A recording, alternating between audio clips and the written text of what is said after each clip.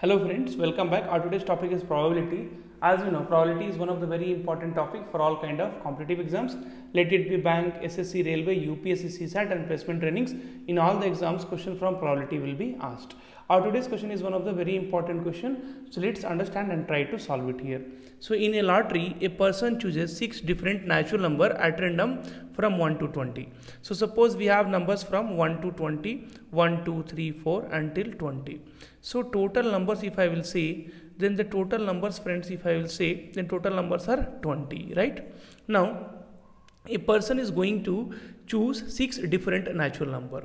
So friends, if you want to choose six different number from 20, then it will become 20C6.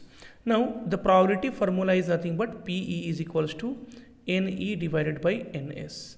So total outcome will become 20 C6 because out of 20 natural number you are going to select you are going to select six different natural number. Now if the six numbers match with the six numbers already fixed by the lottery committee he wins the prize. What is the probability of winning the prize in a game? Now friends the six number suppose the six number suppose fixed by the committee is nothing but 2 3 4 5 6 7 so there is there is only one way there is only one way lottery committee has fixed. That is means that is only one number the lottery committee has fixed. Like 2 3 4 5 6 7 i'm just giving an example.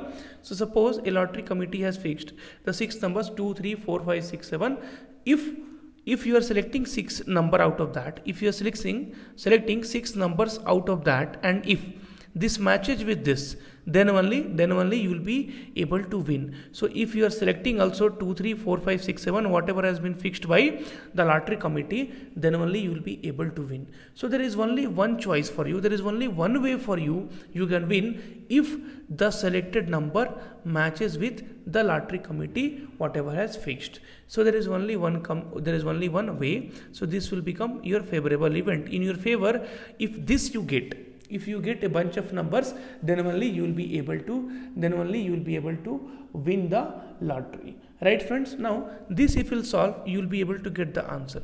So ncr will be equal to n divided by factorial n divided by r factorial into n minus r factorial. Now n factorial will be nothing but if you are calculating 20 say 6 then 20 divided by r is nothing but 6 factorial and n minus r 20 minus 6 factorial. Now if you will expand this then 20 into uh, it will be 19 into 18 into 17 into 16 into 15 into 14 factorial. So the calculation will be quite lengthy here no doubt. And 6 factorial will be nothing but 120 6 factorial will be see 5 sorry 6 factorial will be 120 into 6 see uh, 1 factorial is 1 2 factorial is 2 3 factorial is 6 4 factorial is 24 5 factorial will be 120 and 6 factorial will be 720 or you can write 120 into 6 and 20 minus 6 will be 14 factorial. So this and this will get cancelled. Now friends, you can see 20 will divide this by 6 times. So 20 will divide this by 6 times and then further you can divide 6 3 ja 8, 3 2 ja 6 and 2 8 ja. So basically friends, we will have the 19 into 17 into 15 into 8 so this much we will be having now.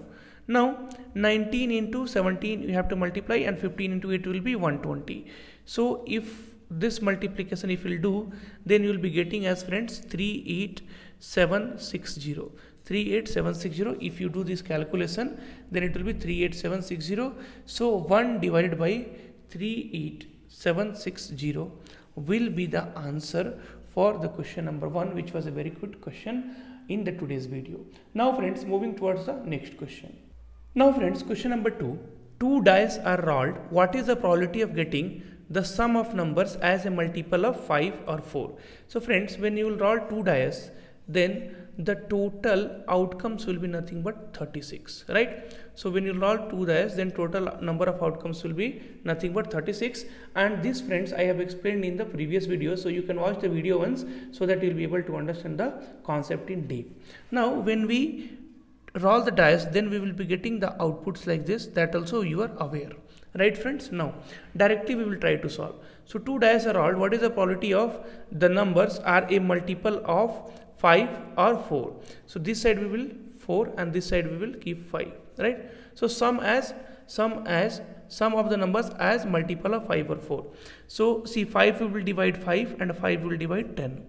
So when the sum will be 5, so either you have 1 4, 4 1, 2 3 and 3 2.